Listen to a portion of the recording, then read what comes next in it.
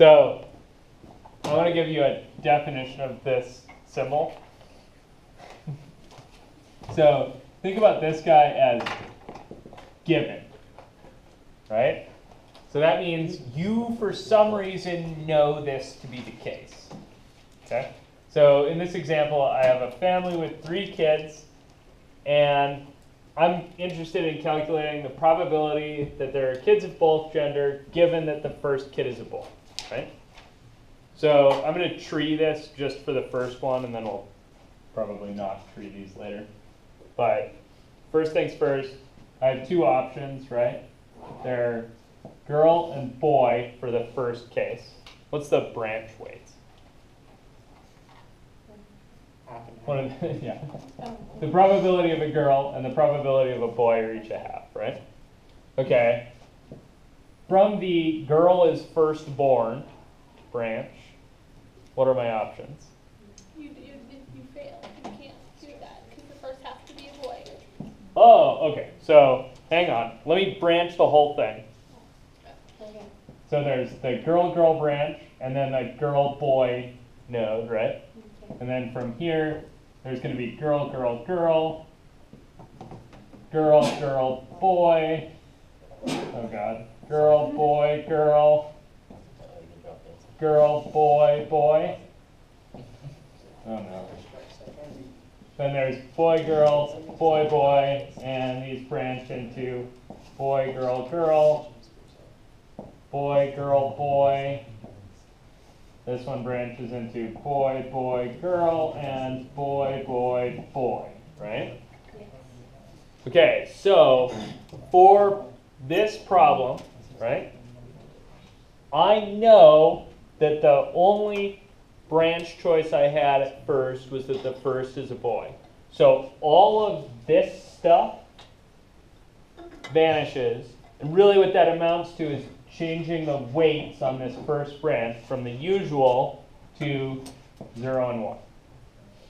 Right? I am certain that this happened. You guys see that? Really, that amounts to just knowing the first kid is a boy, right?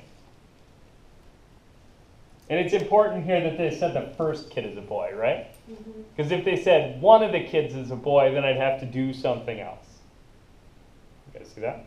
But because they said the first kid is a boy, I know all this stuff is disallowed. Everything that starts with girl didn't happen. You guys see that? Mm-hmm. So, what's the probability of both genders given the first is a boy? Well, I have these four outcomes, right? And three of which, right? Three of which include a girl. So my successes on that first one are these guys.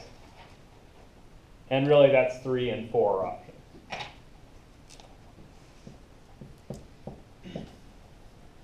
You guys with me on that? So what was the question? It was that So a family has three kids.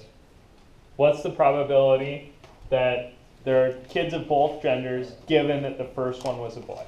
So given that the first is a boy means that none of this stuff matters and you're only in that universe. You put the answer as three fourths. The book has the answer as three eighths. I don't think they changed the first one to being. weighted Yeah, I think one. they forgot I their. got mine is three fourths here. Am I looking at the wrong one? Okay, I'll let you guys figure out which one you're looking at. It should be three quarters. Mine says three fourths. Yeah, they just start the tree from the second decision Yeah, it instead really. of the first. This amounts to starting the tree from the just the first position, right? Like I could skip that first kid altogether, mm-hmm. right? Because I already know it's a boy. And then I'm just interested in what's the probability that I end up with at least one girl in the mix after that. Or you only look at, you can do all the outcomes and only look at the ones that have boy in the first position. Yeah, sure. So You added those three up, right? let's yeah, I added this, this, and that. They're each a quarter of the probability because these are all zero. That's the page. Okay, so you good, Megan? Yeah, I was looking at the wrong answer. How about this one? So what's the probability that they're all girls given that there are kids of both genders? Zero. Yeah, that doesn't even make sense, right? If you know the kids are of both genders, then they're not all girls. You guys see that? What would you put as an answer? Not possible? Trick question. No. Zero. The probability is zero. Keep in mind, this thing that I've said is an impossible event, right? Yeah. Impossible events have probability zero, Okay. but not all probability zero events are impossible. Things can have probability zero, but still be possible. Okay, Like the fact that you have a height, right? okay. Your specific exact height Uh, is a probability zero event. But it happened, right? So it's not impossible, it's just extremely unlikely, right? Like if we had other people in the room, in fact, we have other people in the room, none of them are exactly the same height as you. They might be close, but nobody's exactly the same height as you. Does that make sense? Or that if you're like getting down to like the nanometer. Yeah, exactly. So this is You can always go further. infinitesimally, right? And we're disbarring the existence of Planck's constant because this isn't physics class. Okay.